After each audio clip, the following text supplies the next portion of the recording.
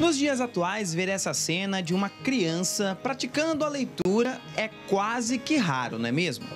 Mas para Gabriel, ler, desenhar e escrever se tornou uma rotina. Tanto que com apenas seis anos de idade se tornou escritor e já teve seu primeiro livro publicado. Eu falei pra vovó, vovó, é, eu queria começar a escrever um livro. Daí eu comecei a fazer um livro, é, começando pelo ursinho.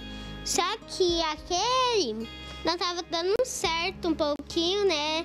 Daí, a, daí eu fui escrever A Pequena Nuvem. O livro A Pequena Nuvem fez tanto sucesso que Gabriel terá que fazer mais pedidos para atender a demanda. Eu tenho que mandar fazer mais desse livro que ainda não deu para todo mundo. Foi com este simples esboço que tudo começou.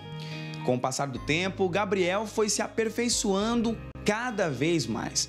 A família percebeu que o talento do pequeno escritor poderia se tornar algo maior. E a gente foi ver, realmente era uma história, com começo, com meio, com fim. Falou, gente, vai dar um livro. E a minha irmã, como ela trabalha nesse ramo de, de gráfica, ela falou, não, esse livro ele precisa, ele precisa acontecer, ele precisa sair do papel mesmo e se tornar um livro. Ele falou assim, tia, tia Jaque, eu quero que, que o livro tenha os mesmos desenhos que eu fiz. Eu falei, tá, vamos fazer então, né? Eu falei, vai ser uma missão muito difícil para quem for fazer a diagramação, né, do livro e a ilustração.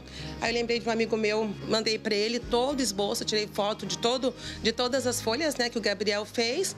E ele falou: "Não, deixa comigo". Até a vovó Lueci teve participação direta no desenvolvimento do livro. Ele escreve de forma assim desordenada, né? Aí então a minha função é essa, de organizar as palavras. É, ah, Gabriel, assim fica melhor, né? Assim fica melhor. E aí a gente passa a estar junto né? E às vezes ele quer escrever, quer escrever, assim, eu falo, não, Gabriel, dá um tempo aí, vai brincar um pouco, depois você escreve, né? Porque senão vai escrever tudo hoje, tem muito tempo para escrever. Gabriel continuará escrevendo a sua história na literatura. Até porque ser escritor é ter uma vida que muita gente gostaria de ter, não é mesmo? É porque escritor, ele pode escrever qualquer hora. Meio-dia, uma da tarde, sete horas, a hora que ele acordar, pode começar a escrever o livro. Qualquer hora, qualquer lugar do mundo.